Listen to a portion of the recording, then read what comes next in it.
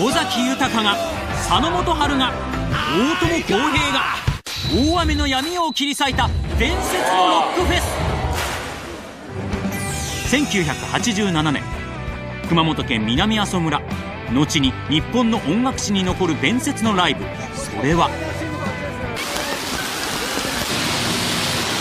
この雨から始まった。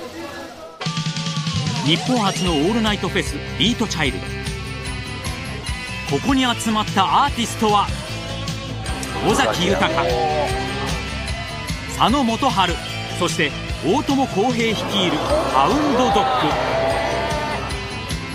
当時の日本を代表するアーティストが集結。会場には6万人を超える観客が詰めかけた。しかし開演前に降り始めた雨そして雷雷雨は徐々に激しさを増し会場一帯には大雨警報が。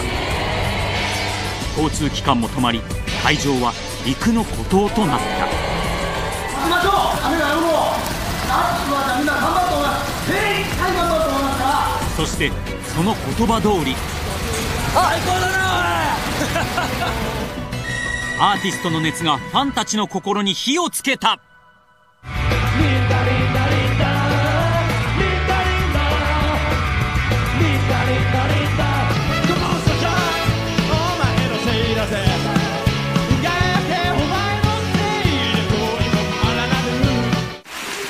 そして大友康平さんも。もうこの人すごいな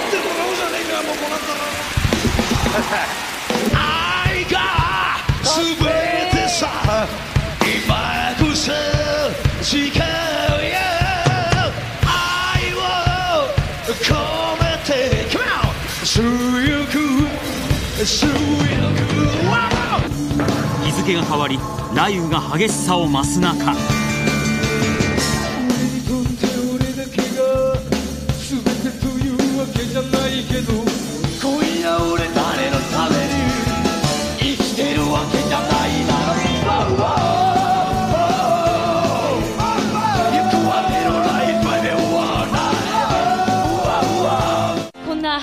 雨には負けてらんないなって気がするんだけども。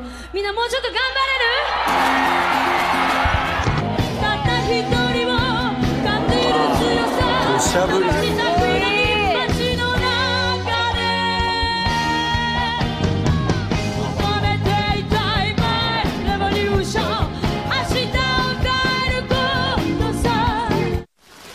そして夜が明ける頃。佐野元春さんが登場。その歌中に。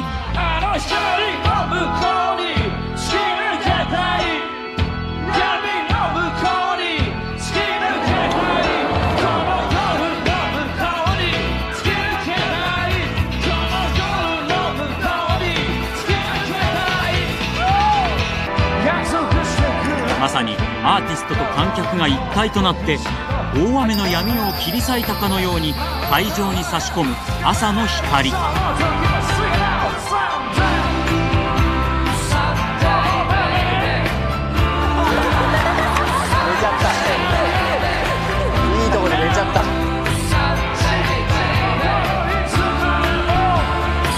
音楽史に残る伝説が生まれた瞬間でした